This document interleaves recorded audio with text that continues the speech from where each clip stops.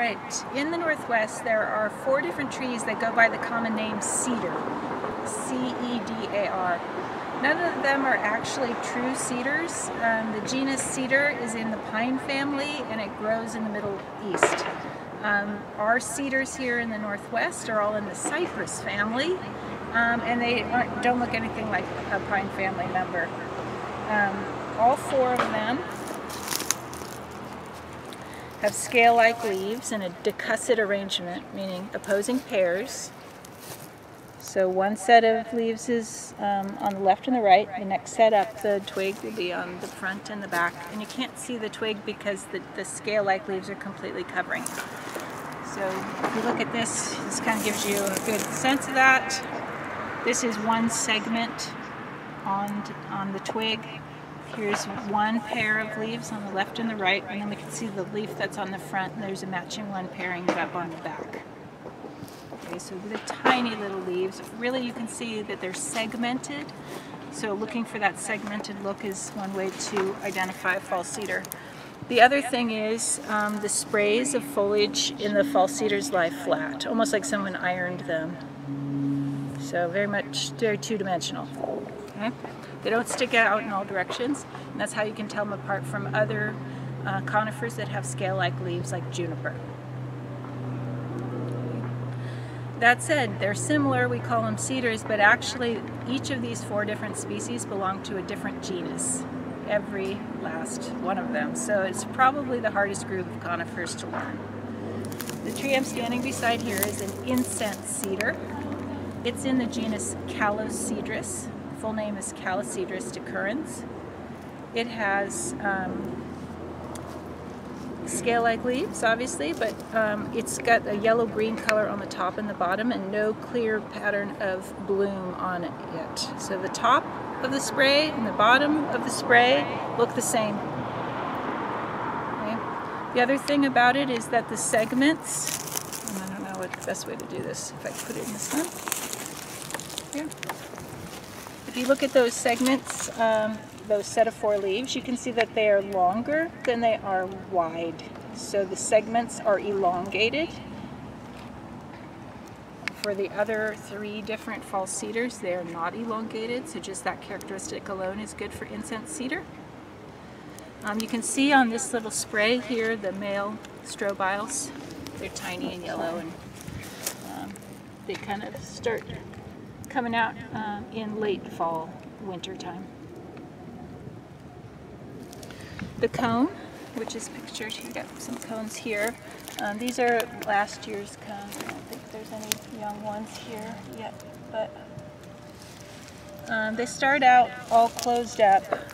So these are the scales. The only they started out with um, six scales, but it ends up where you can only see three, and um, they're actually in a decussate arrangement, which is a little odd. But the three here in the center, the seeds were here.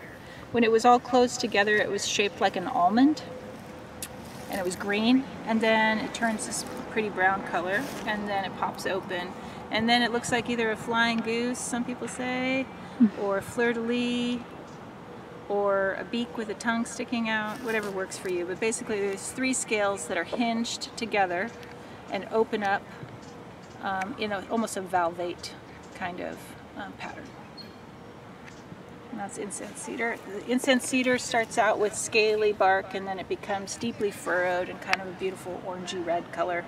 Really pretty bark, which you can probably see in there a bit. Yeah. Incense cedar is um, the most drought tolerant of the four and it grows in um, both sides of the Cascades and also the coast range from about central Oregon south down through the Sierra Nevada. Um, over here,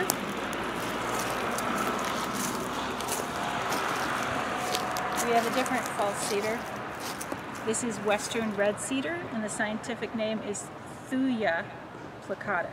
So now we have Calocedrus for incense cedar and now Thuja for western red cedar. So looking at a spray though, you can see that it's got scale-like leaves covering the twigs tiny, tiny little leaves in a decussate arrangement, and that the spray is lying very flat. Um, Western red cedar looks very fern-like, frond-like, graceful compared to the incense cedar, which looks a little shaggier uh, than, than the western red cedar. Beautiful yellow green on the upper surface. And then if I come into the shade maybe, there's a very distinctive pattern of um, bloom on the undersurface of the spray.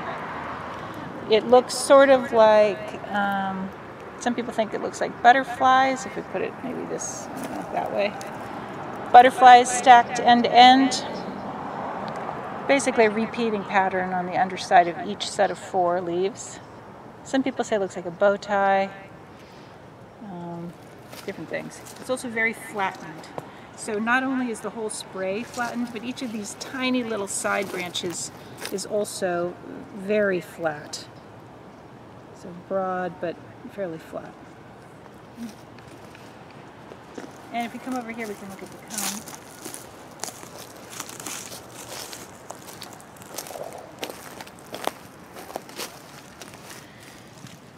So the cones are small, they have a papery texture. They are composed of numerous sets of um, valvate scales, and they have a decuss. Each set is decussate. So there's two scales, then the next setup is two scales, and then two scales. So it's the same pattern as the leaves. And they open up and they look like little flowers, little tiny woody rosebuds, and they're on the upper surface of the branch, often kind of covering the upper surface of the branch. So one of the best ways to tell the false cedars apart are with the cones because each of them, for the most part, we'll see if there's a little confusion, but for the most part, um, they're distinctive. Western red cedar is found in moist sites throughout the northwest. It's pretty abundant in the coast range and in wet spots in the Cascades. You can even find it into the interior northwest in the northern Rockies where there's enough moisture. Um, and it is you know, one of the most important trees in the Northwest. It was incredibly important for material culture for the coastal people. Um, which would, the, the bark, which you can't really see on this tree very well, is um, fairly thin, dark, dark brown and fibrous, and it pulls off in long strips. And so that, that fibrous bark was pounded and made into cordage and um, clothing, woven into clothing, baby diapers, fishnets, all kinds of stuff like that. Um, the, bar, the tree itself, the wood, is very is very easy to split. You can actually split off whole planks from live trees, um, and easy to work. So um, it's been used for making big uh, plank lodges and um, buildings, and also dugout canoes. And then, you know, with uh, uh, the white settlers coming in, there was a very lucrative business chopping down western red cedar and, and splitting them up for shingles. Um, their rot, the wood is rot resistant, so it's used for roofing and siding um, and uses like that. Um, very easy to work with, so friendly to hand tools. Also, the roots were dug up and used for basketry as well, so it's just a, the tree of the name arborvitae, which is the, another common name for thuja, kind of fits this tree pretty well. It really is a tree of life. And very widespread, although um, with so much logging that's happened in, in the western red cedar, it does not regenerate as well as some of the other species, so it's actually declined significantly in the west, uh, in the northwest, over the last 200 years. Okay. All right, this is one of the four uh, false cedars that you're going to be learning this term. This is a Port Orford cedar. Um, the scientific name is Chamaecyparis lawsoniana. It's also sometimes called Lawson cypress. Uh, if you look up at this tree, you can see that it's quite a big tree. Uh, very Whoa. tall and droopy, droopy foliage. It has scale-like leaves in a decussate arrangement and the sprays lie flat which just means they kind of come out on two sides of the main twigs and they lie fairly flat like a fern frond. They're tiny, tiny leaves. Um, and they ha can have bloom on the upper surface or they can be pretty green on the upper surface. And then the underside, there's a pattern of stomatal bloom that looks like uh, repeated X's going down, um, kind of following the outlines of those tiny scale-like leaves. So I don't know if you can zoom in. I'll zoom in on some of these puppies.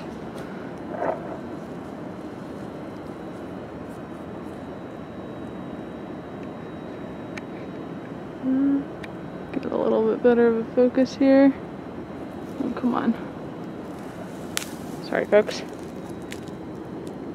I'm gonna walk out to the light maybe a little bit. I saw it before, but now it's hard.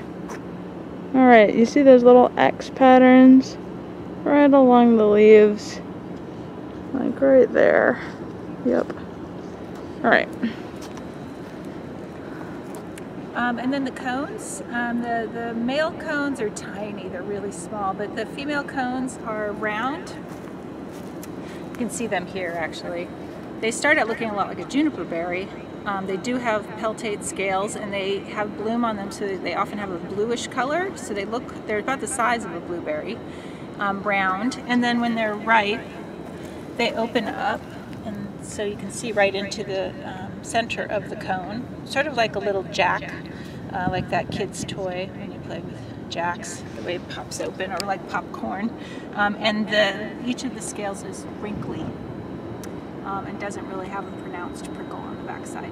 Um, Port Orford cedar um, has a coastal distribution, has a very small range from about Coos Bay down to Northern California. Um, it's usually found on the western slopes of the Coast Range, although it does come further inland in Northern California, um, all the way actually to the Mount Shasta area, but it's more common near the coast. It likes a fair bit of moisture.